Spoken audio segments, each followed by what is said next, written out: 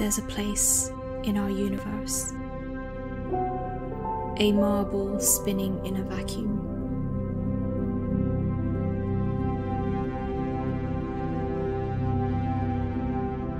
It contains life.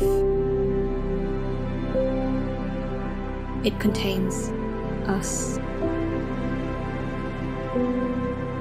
It may look solid and enduring, but now we can see it differently across time,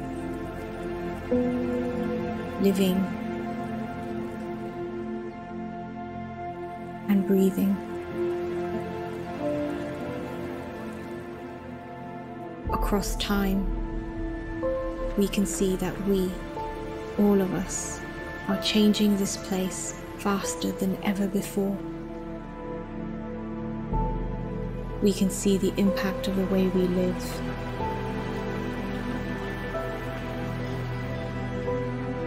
Of the choices we make.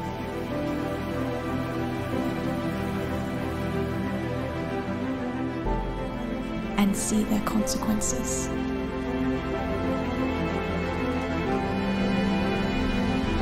There's a place in our universe. How we decide to treat it today will determine our future. What will you think? What will you do when you see our world changing before your own eyes?